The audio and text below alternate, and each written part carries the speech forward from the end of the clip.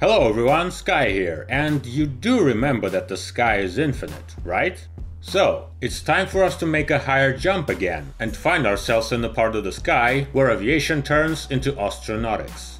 And the hero of our journey will be one of the main modern heavy space carriers and the rocket that is in fact the main transport of the modern Russian space industry. The story of one of the symbols of peaceful space exploration and international cooperation ironically begins in not so peaceful times. The beginning of the 20th century was a time of great change. One of the main breakthroughs was the active development of a new branch of physics, atomic. And none of the boring nerds of that time, who are now considered to be the greatest scientists of the century, didn't know if they were opening the way to the great future, or was it the Pandora's box standing before them. The next couple of decades proved that it was rather a Pandora's box, and the first practical implementation of the new physical principles was very vivid and is now known to us as an atomic bomb. But science was far from its limits. Scientists considered a more ambitious nuclear weapons design. The idea was an attempt to start a nuclear fusion reaction with the release of tremendous amounts of energy, like in the stars, including our sun. The advantage of the new scheme is that unlike the atomic bomb, limited in power, the power of this device is limited only by the conscience of its creators. At first, the number of designs for such devices was huge, and they were so complex that the implementation seemed too difficult and expensive. Various simplified designs were created, such as the American George and the Soviet Sloika bombs, which had limitations. However, over time, as a result of a large-scale research, a solution was found. The Teller-Ulam two-stage scheme assumed that the main energy emission would be caused by the fusion fuel, and the small atomic bomb would be a detonator, since a lot of energy was needed to start the fusion reaction. The scheme was effective. Tests of the Ivy Mike and the RDS-37 devices in the early 1950s confirmed their terrible potential. Thus was born the hydrogen bomb. Over time, these bombs were becoming more and more powerful and their designs more efficient. The apogee of this race was, of course, the two most powerful man-made explosions in the history of mankind. The 15 megaton Castle Bravo explosion and the 58 megaton AN602 explosion, better known as the Tsar bomb. These devices were so powerful that the first atomic bombs in comparison to them seemed like fireworks for kids. They could give their masters an opportunity to inflict absolutely terrible damage to opponents using a small number of carriers. But they had a drawback hydrogen bombs were quite large and heavy. The Tsar bomb, with its enormous power, was 8 meters or 26 feet long and 2.1 meters or over 6 feet in diameter. It weighed over 26 tons, over 58,000 pounds. In fact, it was so massive that the rather large Tu-95 bomber had to be decently modified to carry it, and at the same time, the bomb was still put on an external suspension under the fuselage. The question arose of creating carriers for such weapons. Heavy hydrogen bombs were to become the new weapons of the nuclear triad. The devices had to be adapted to existing and future strategic bombers. It was proposed to launch a new type of submarines and torpedoes, the explosion of which would destroy coastal regions. And of course, thermonuclear warheads were to become the tips of the main arrows in the arsenal ballistic missiles. But it was clear that the existing missiles, including the main Soviet rocket R-7, would not handle such a heavy load. It was proposed to create new, heavier rockets, or to use the initially civilian ones. For example, the proposed N-1 moon rocket was considered as a potential carrier for the heavy hydrogen warhead with a power several times greater than that of the Tsar bomb. Of course, it didn't go that far, and the N-1 rocket never saw space, but the work was started and continued. Korolev, Yangel, and of course Chelomey design bureaus offered their projects. Moreover, the OKB-52, under the leadership of Vladimir Chelomey, made the most interesting proposal, to create a whole family of different carriers at once. They were called universal rockets, with the corresponding indexes UR. The light UR100, the medium UR200, the heavy UR500, and the super heavy UR700. These rockets had to be deeply unified. The heavier ones were technically the assembly of the lighter ones, which not only simplified the development and operation, but also significantly reduced the cost of production. It was possible to make many different models from the same elements. Eventually, in 1961, Chelomey's project was recognized as the most promising and was given a task of creating the UR-200, and after some time, the UR-500.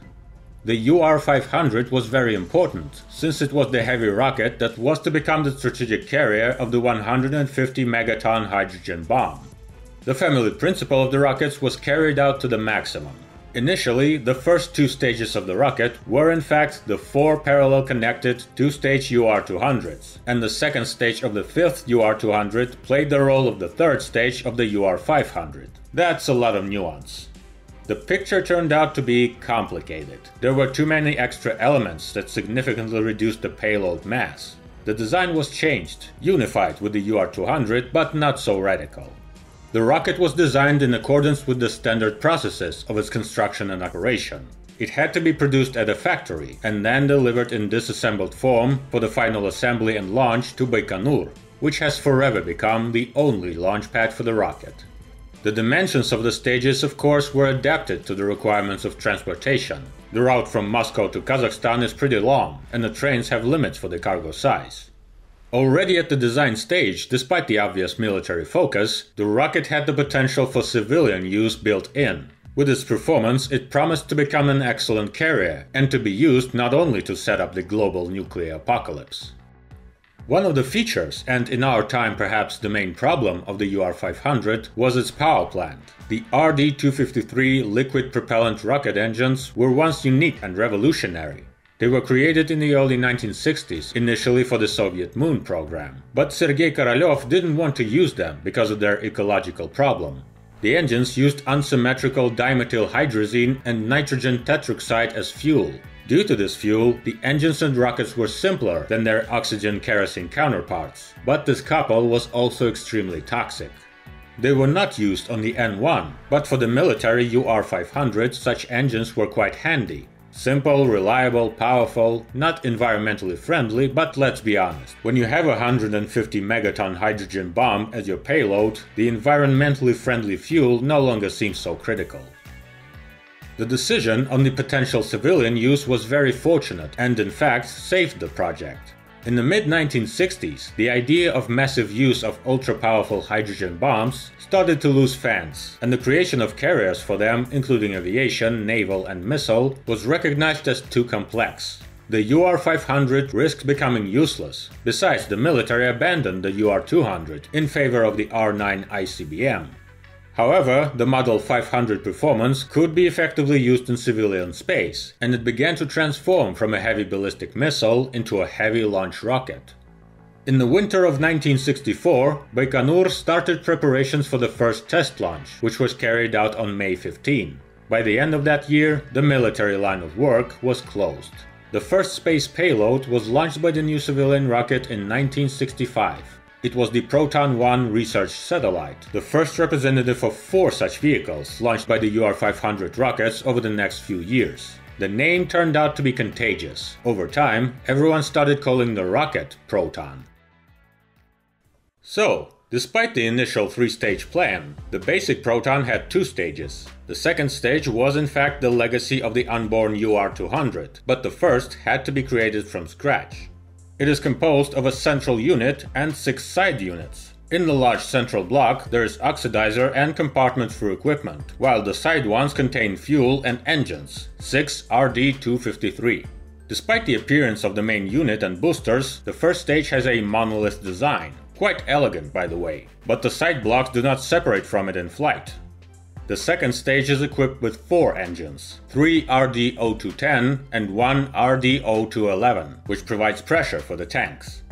This section of the transition compartment is open and looks like a grid for venting gases, since the separation of the stages is carried out according to the hot principle, which means that the engines of the second stage are started before the separation of the first.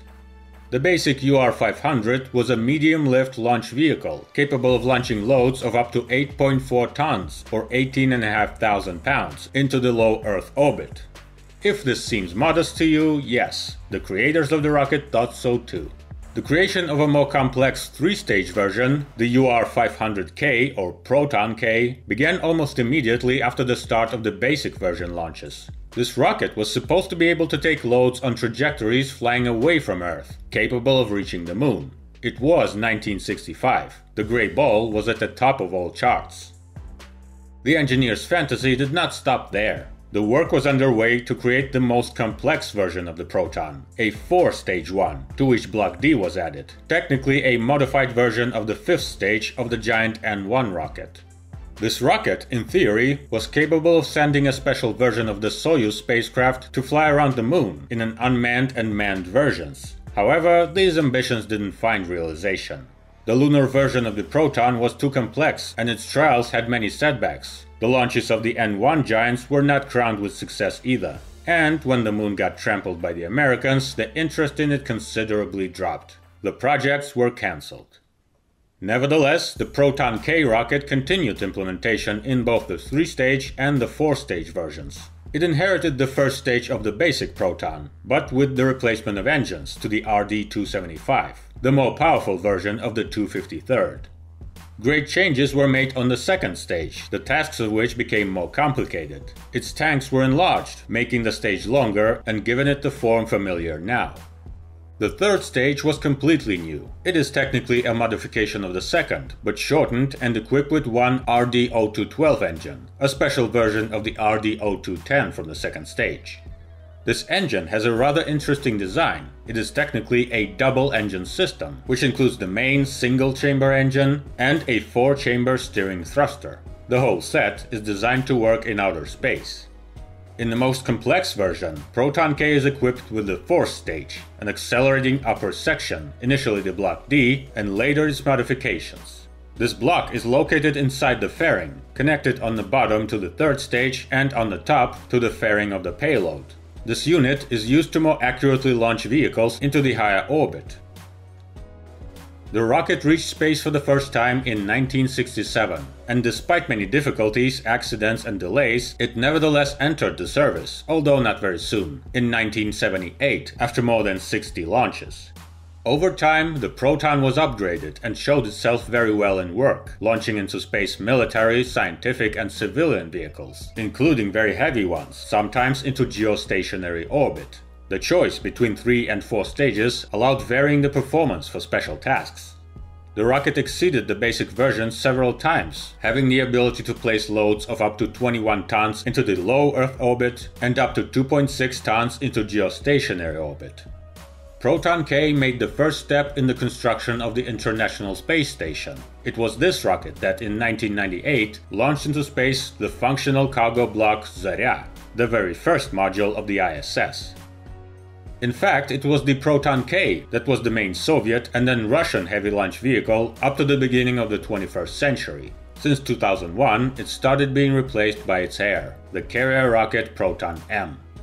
The new version on the outside is difficult to distinguish from its predecessor, but it was significantly revised in terms of filling. First of all, Proton M received a new control system that allowed more efficient steering in flight. And this means not only more accurate maneuvering, but also efficient fuel consumption, reducing the territory of potential fall of use stages and better environmental friendliness. The giant rocket sections falling from the sky in random locations, with hydrogen propellant leaking out of them, is not the greenest technology in the world. In addition, Proton M was given an opportunity to expand the number of options of its fairing. The Protons always had a lot of them. They are all 4.35 meters in diameter, but their length varies from 10 to as much as 15.25 meters, depending on the payload. And yes, this mattress on the rocket is not a part of the fairing. It is a special thermostatic cover that provides the right environment to often very demanding spacecraft. On the launch pad, the cover gets removed. Another bonus was the new Briz M upper stage, which was more efficient in inserting the load to a specified orbit. The power performance has also improved due to the installation of the modernized RD276 or 275M engines. The thrust of six of those monsters reached the mark of just over 10,000 kilonewtons. By the beginning of the 2010s, the M version completely replaced the version K. In 2012, the Proton K was launched for the last time. The operations of the most popular modification, launched 310 times, were completed.